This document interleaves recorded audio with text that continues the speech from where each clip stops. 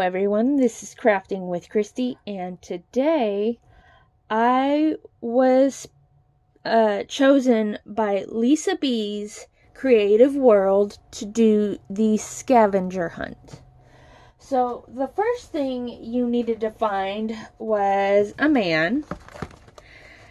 This is my man. That's the only man I can find in any of my coloring books. But that's my man, and this coloring book comes out of Fairies Around Us by the Belba family. The next thing you needed to find was fruit. This is my fruit. Lots and lots of fruit. And that came out of Hello Kitty's Hello Kitty and Friends the next thing you needed to find was bees, and there's my bees right there. And this came out of Enchanted Faces, Mermaids, Fairies, and Fantasy Coloring Book by Hannah Lynn. The next thing you needed to find were words, and I don't have anything really with words, so I just chose this page and it says love me love my dog. And i'm guessing it says right here saint bernard.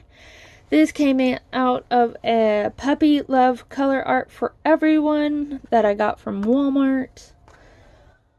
Um, the next thing you needed to find was a mythical creature. I chose the dragon. Um, and this came out of fairies and fantasy four books uh, four books in one coloring collection 100 designs by Selina Fenech the next thing you needed to find was santa. And here's my santa. This is out of cute christmas by jade summer.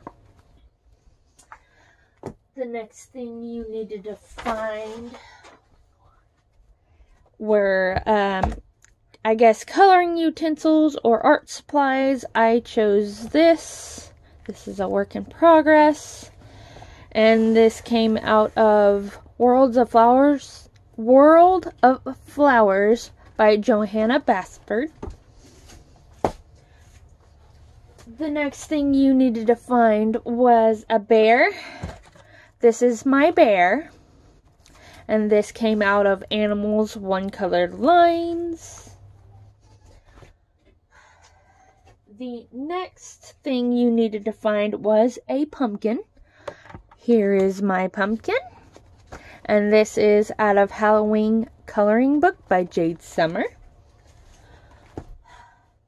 The next thing you needed to find was a licensed character. I don't have anything licensed character-ish, but this is the closest thing I could find, which it is Dorothy um, from the Oz, and it even says in where is it? Right here. It says Dorothy. I don't know if you'll. Dorothy, Oz. Yeah. And this is by Sweet and Simple Whimsy Girls Mermaids and more to color pocket size coloring book. And the last thing you needed to find was your favorite animal, and I chose the dolphin. I really, really like dolphins. So, yeah. And that came out of Cute Animals by Jade Summer. Um, the person that I am going to choose to do this scavenger hunt is Anxiety Art Adventures.